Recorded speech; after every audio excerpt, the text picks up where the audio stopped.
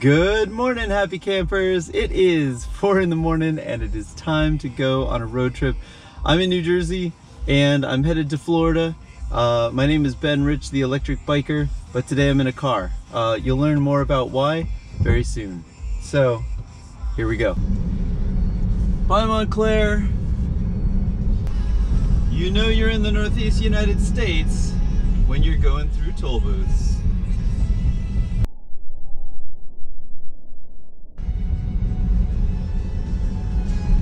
Thank goodness for E-ZPass. Okay, here we are on I-95. Uh, just took the exit and paid the toll. And now I've got two and a half hours remaining on the trip. And we're in autopilot. Every once in a while I gotta apply force to the steering wheel. And then that clears the message. It's cool. We got a full moon today on the drive in New Jersey so far. Oh man, I had Party in the USA going here. 6 a.m. Going on the Delaware Memorial Bridge, leaving New Jersey, heading to Delaware. Second state of the journey. It's going well. Uh, not a lot of traffic between 4 a.m. and 6 a.m. I think I'm gonna hit Washington D.C. right around 8:30, which is not gonna be good. But what are you gonna do? And as soon as you enter Delaware, you hit the toll. Autopilot is not super excited about tolls, so I usually take control when there's a toll. Go through it. Go E-ZPass. And as soon as possible, turn on autopilot again. There we go. Just entered Maryland, and it is 6.18 a.m so I didn't spend much time in Delaware. The map is trying to send me to Chesapeake House, but I'm gonna go to the Maryland House rest area because that is, uh, it's gonna run down my charge a little bit more and the lower your charge, the faster you charge up. That's just how it works. More on that later. Oh my gosh. So, my map was trying to send me back to the supercharger at Chesapeake House for the longest time and all of a sudden it decided I could continue going forward and go to Maryland House, which is where I planned on going in the first place. So, quirky, but still works. Here we go. 500 feet, your destination will be They even have gasoline for old-fashioned cars. There they are. Easy peasy lemon squeezy.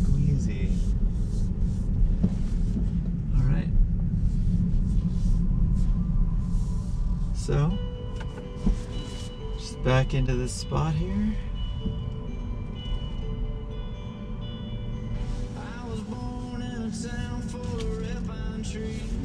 Okay, so how to charge?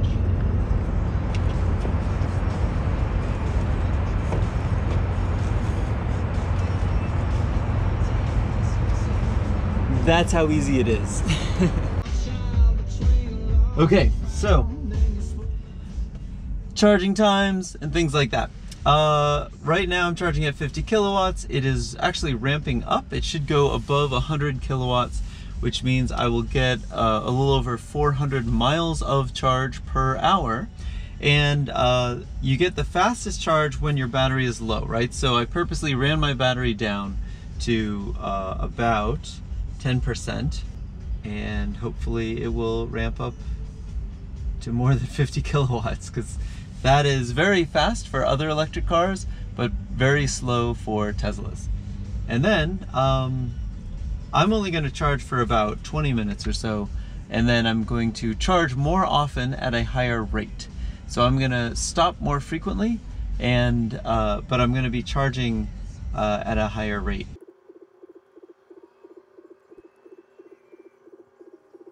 Looks like we're gonna charge at about 103 kilowatts. So uh, I'm gonna head into Maryland House, uh, stretch my legs and relax a little bit and uh, get some food.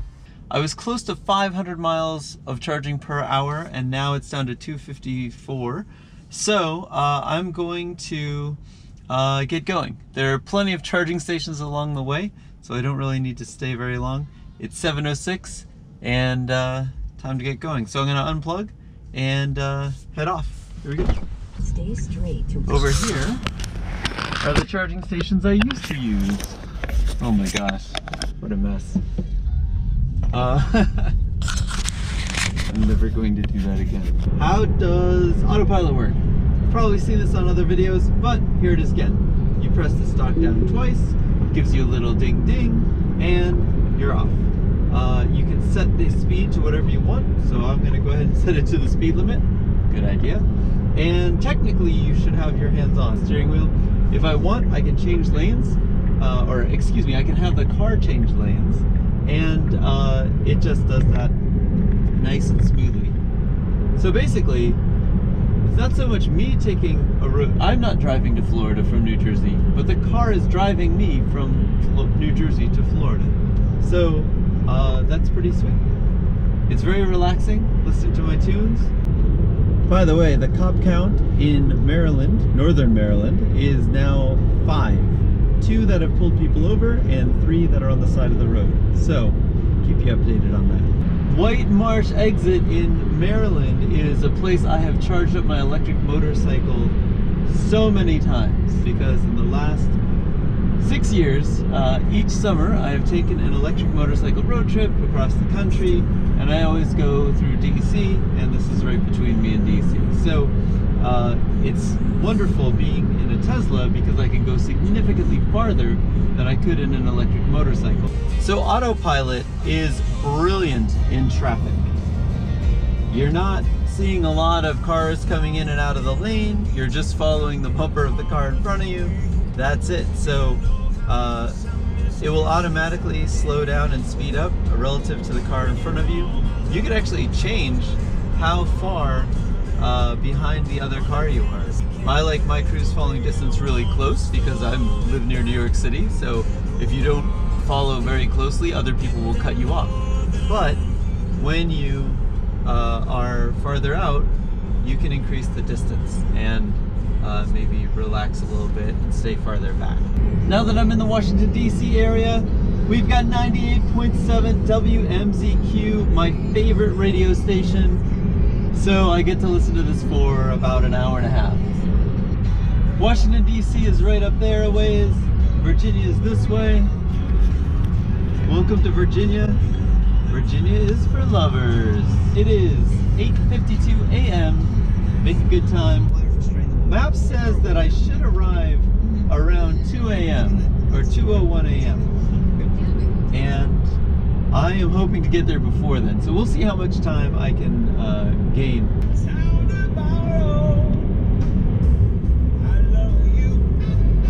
Going by Quantico in Virginia.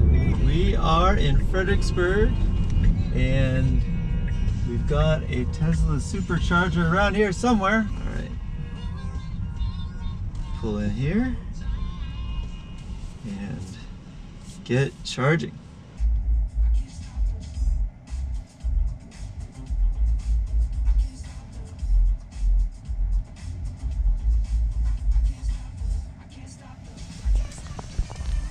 One of my favorite screens in the Tesla is energy consumption and it tells you how much energy you've been using. Uh, the spikes are when we hit the uh, accelerator pedal and the valleys are when we're uh, slowing down or going downhill or something. And then uh, the other thing you can do is you press here and you see the trip and you can see uh, where your battery was and is and so like for example right now I'm at 43% and when I get to the destination I'm going to be at 27%. So uh, lots of super handy information and uh, keeps you informed. Here we are uh, south of Richmond, Virginia. It is 10.55 in the AM. It's been about seven hours. I've gone 350 or 400 miles. I'll have to check that. About 400 miles, I think. So we are approaching halfway. There they are. So easy to find. All right, we got enough to go.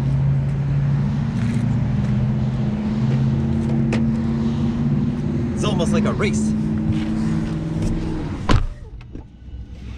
I've already cut off some time. When I first looked after the DC traffic, uh, I had two hours, or I was gonna arrive at 2.01 a.m.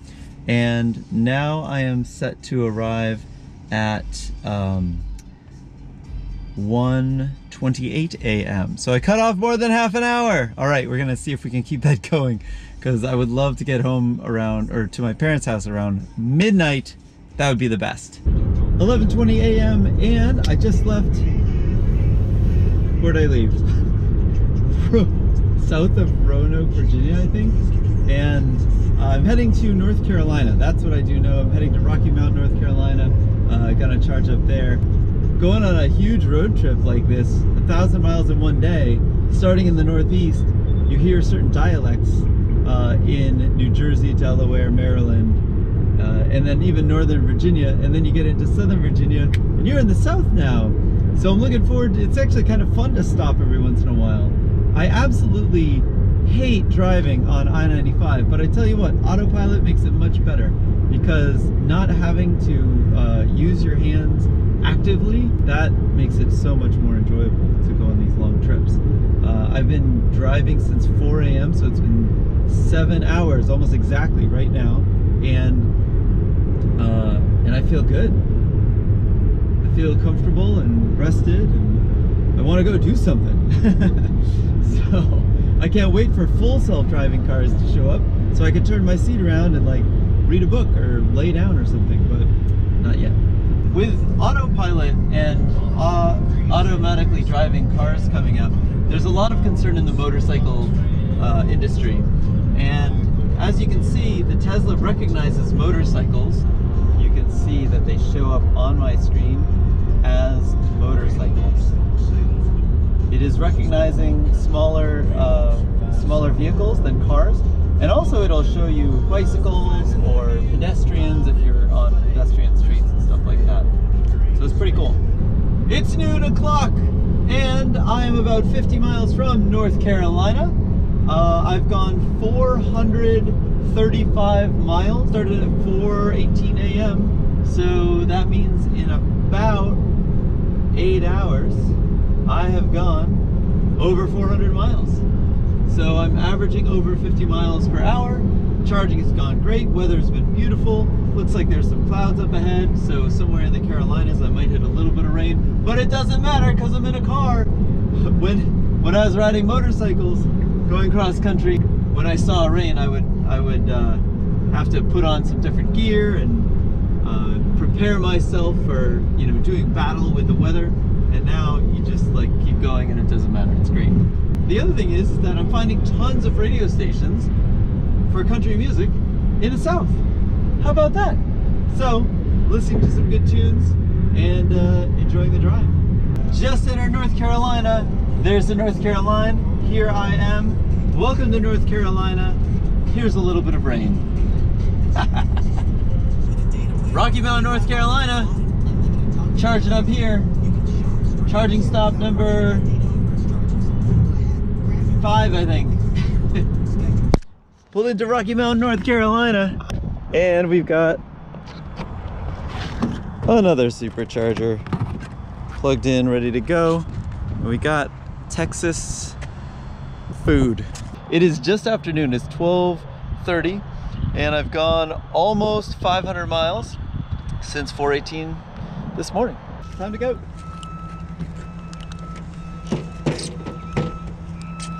Rocky Mount, North Carolina, good stop. Got a little rain. I actually just hung out outside just so I could stand up for a bit. This is a long day of driving. A long day of driving. Okay, so that's it. Everything's going super smoothly. I love this. Oh, dry, doing a road trip with autopilot and then superchargers is just brilliant. It's so relaxing. It is so enjoyable. Um, not having to make every single minor adjustment while you're driving is the best.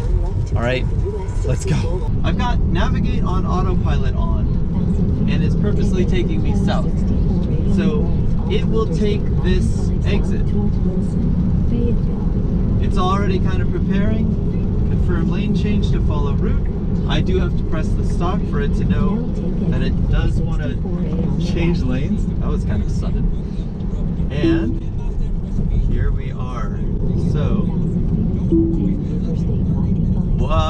So a lot of things just happened there. It hit the brakes when it saw that truck that was kind of in my lane because it uh, thought it was in my lane. So it started hitting the brakes, then it realized it wasn't in my lane, so just let me keep on cruising along. This is why you always need to be alert and aware and ready to take over at any time because sometimes there's uh, unforeseen circumstances. During normal driving, during normal driving, autopilot is the best. It is amazing. Whenever there is something that is out of the ordinary, if there's a car that's kind of half on the road, half off, or uh, the lines aren't very clear, then uh, it's a good idea to be prepared to take over. But 99% of the time, all you need is autopilot. It's great. So we are now back on Interstate 95. Right about. There we go, heading south. Going to Fayetteville. Peace. 500 miles! Yes! All right, so it is now 1.16 p.m. I started at 4.18 a.m. In nine hours, I went 500 miles using my Tesla Model 3 and the supercharging network, which means in nine more hours, about 10 p.m., I should be able to go 1,000 miles. So I may be able to make it to my dad's house before midnight. That would be amazing. 600 miles at 2.40 p.m. 10 more miles until the Lumberton, North Carolina charging station. Uh, and I'm gonna charge up there for 20 minutes or so and uh, hopefully grab some food. It's actually hard to like grab food in the short amount of time that you're sitting in a supercharger. So I'm super happy about that. Uh, so I'll have to sprint and get something. All right, so far at every supercharging station, I have found one other person. Oh my gosh, this guy is totally parked like way over the line. All right, I'm gonna need to take a different stall. Come on, Tesla drivers. You gotta park correctly so everyone can use the stalls. One of the exciting things going on is that I am now using a Supercharger version 2 and they just announced Supercharger version 3. Supercharger version 2 goes up to 120 and some of them go up to 135 kilowatts, uh, which is about 500 miles of charging per hour. But Superchargers version 3 will go up to 250 kilowatts. What? Which ends up being about a thousand miles of charge per hour. Holy moly. So that's gonna be amazing. There it is, south of the border. Pedro says you're a wiener at south of the border. Hot dog. Which also means I'm in South Carolina. Yes. Ooh, there's a bigger sign. Nice. All right, 3.38 p.m. Charging is super easy. It's easy to find them. The map just tells you. I can find it on my phone too if I want. I mean, you can find these charging stations a variety of ways and they're super easy to find. They're they're big and bold and beautiful and just obvious like as soon as you pull up, so it's great. 12 hours, heyo, and I am almost 700 miles into this trip. Making good progress. It's great. Everything's smooth. Uh, when you don't, when you're on an autopilot, like it's so easy to take a trip. You're still paying attention, but it's just so easy. Estimated time of arrival is now 12:49. Bam! Started at 2 a.m. as a prediction, and now it's down to 12:49. Going over this lovely lake, Lake Marion, and I'm gonna be at Santee very soon, and I'll be able to stretch out again and charge up. Oh, it's so beautiful. Can you see that? Love it. All right, so this is the exit where I saw the total solar eclipse like two years ago. It was amazing. Time to charge.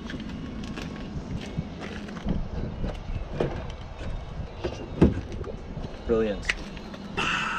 Now it's telling me I have 18 miles only of range. That's one way to do it.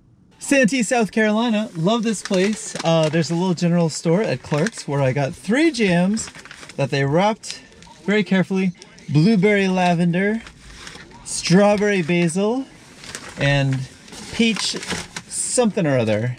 And then I went across the street to get my chocolate fix. Still cloudy, but at least it's not raining on me. Still kind of chilly. It's basically 50 degrees up and down the, the coast. Good music on the radio. Forward! You come and go. Karma, karma, karma, karma, karma, chameleon.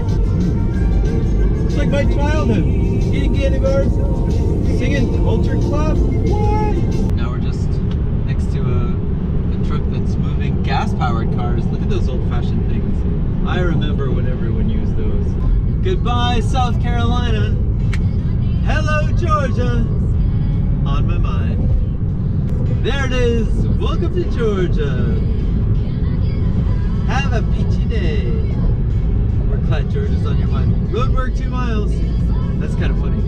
And it is 6.40. I've been on the road for 14 and a half hours. Gone 830 miles. And the sun started the day over there. And now the sun is over there. So it's moved all day long. It's actually really fascinating. And we're at the Savannah airport.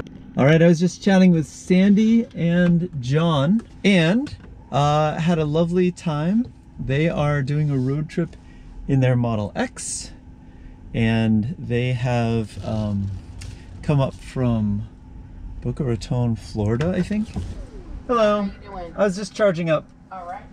You'll um, write your first and last name and your um, phone number on the back of the ticket. It's free of charge. Great, thank you. Uh-huh. Okay. Thank you so much. You Thanks. Have a great evening. Uh, You too. Care.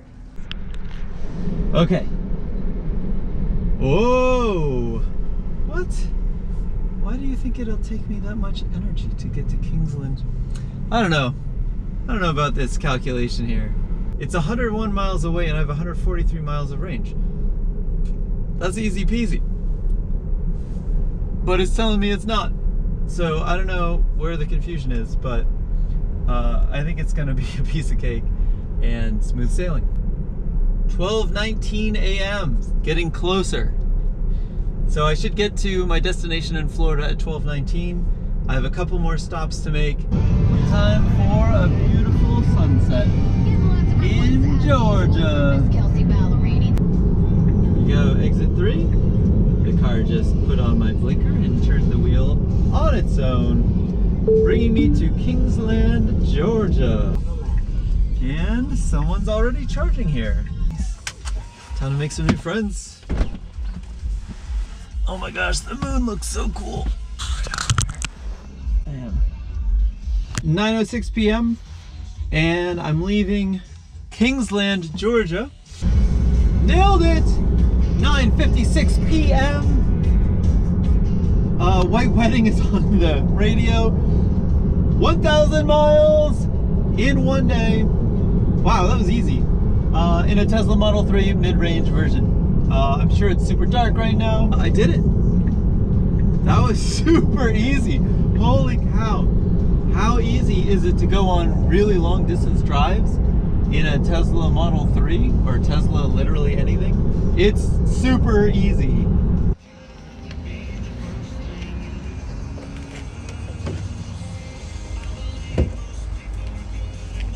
There it is.